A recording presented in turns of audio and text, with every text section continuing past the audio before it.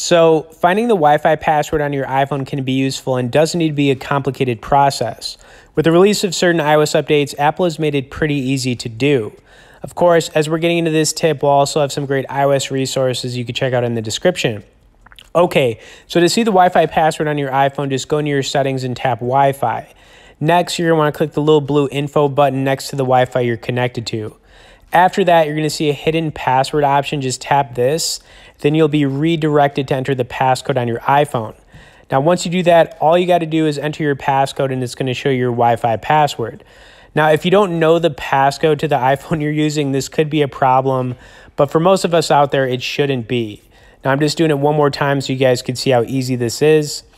Anyways, I hope this tip helps you iOS users out. Thanks for watching this one, guys, and we'll see y'all in the next video.